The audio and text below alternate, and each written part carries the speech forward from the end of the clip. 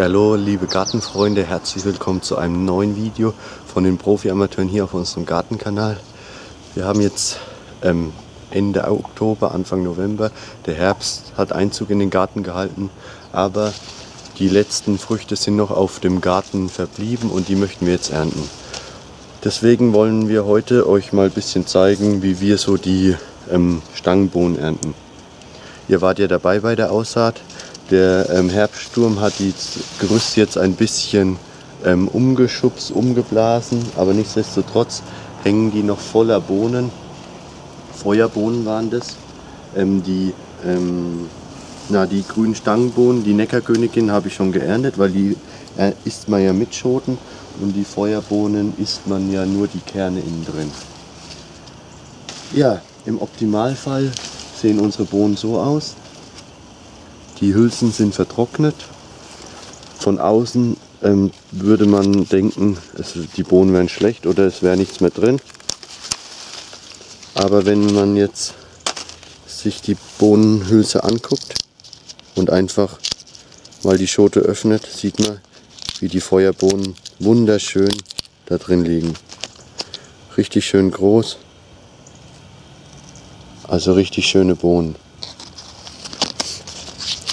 Ja, ich habe jetzt ähm, schon die Wochen vorher immer mal wieder geerntet, habe die ähm, vertrockneten Hülsen abgemacht.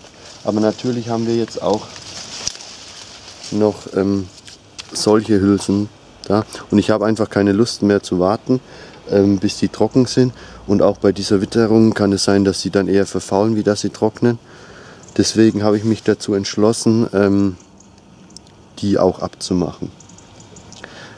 Normal ähm, rate ich euch bei der Ernte von Bohnen ähm, irgendwas Scharfes zu benutzen, eine, ähm, eine Heckenschere, eine Gartenschere, eine normale Haushaltsschere, weil die sind ja nicht, ähm, da muss man ja nicht viel durchschneiden.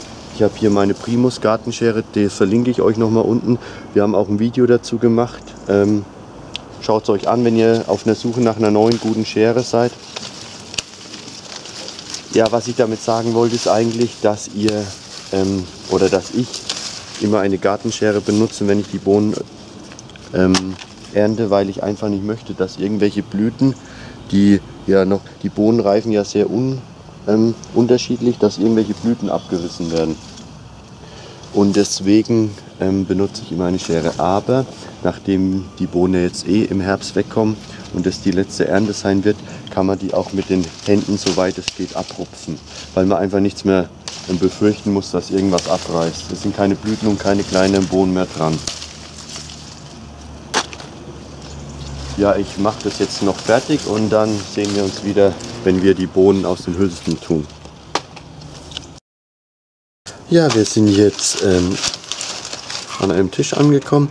Ich habe mir die Bohnen hier zurechtgelegt. Wie gesagt, ähm, das waren ja diese Feuerbohnen. Und wir schauen jetzt uns einfach mal die ähm, Schoten an, äh, was da so drin ist. Zuerst die schön abgetrockneten. Ich mache sie jetzt einfach mal aus.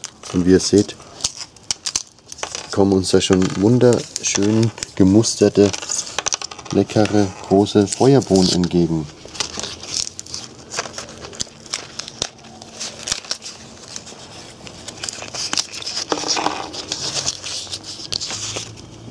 Ist auch mein, ich finde es ist mega interessant. Von außen scheinen die Schoten oder die Bohnen kaputt zu sein, verschimmelt zu sein.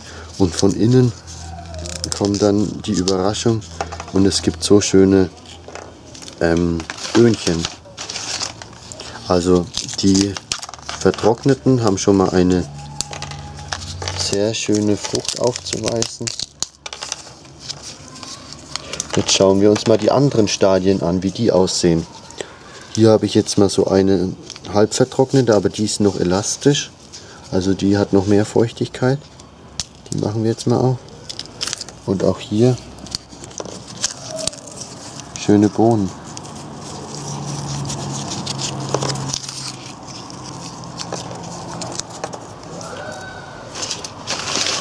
Schauen wir noch mal weiter. Hier habe ich auch jetzt noch so Die sind noch ein bisschen feuchter. Aber von der Qualität hat es gar nichts zu sagen.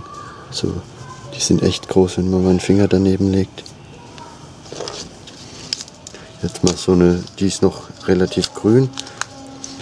Was auffällt, dass die, wow, die sind richtig dick, ey.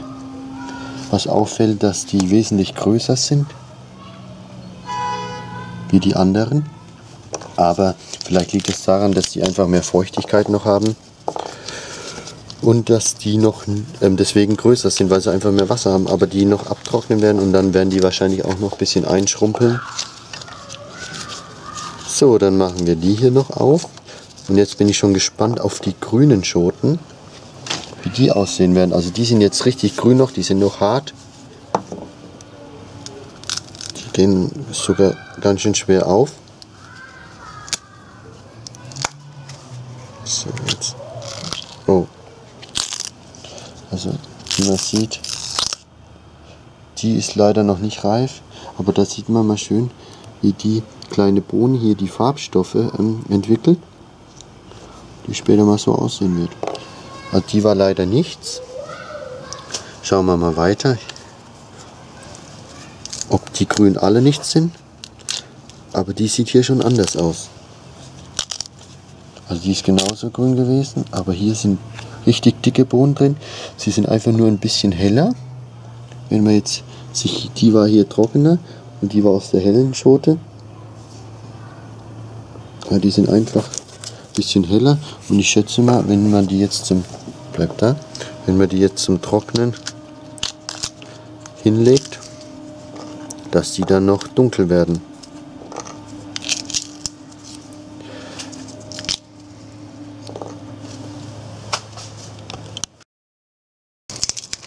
So, ich habe jetzt ein paar gepult. Es macht echt richtig Spaß.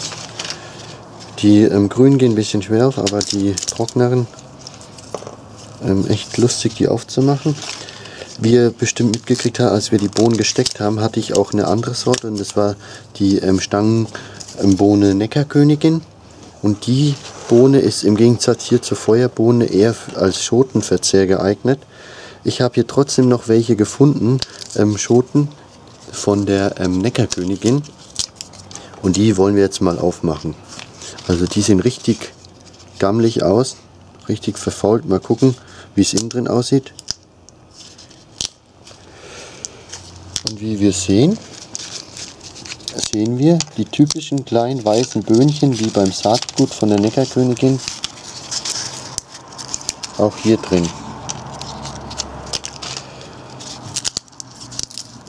Wow, das sieht echt toll aus. Von außen so schlecht und von innen so schöne kleine weißen Bohnen. Also man sieht auch jetzt mal hier den Unterschied von der Größe.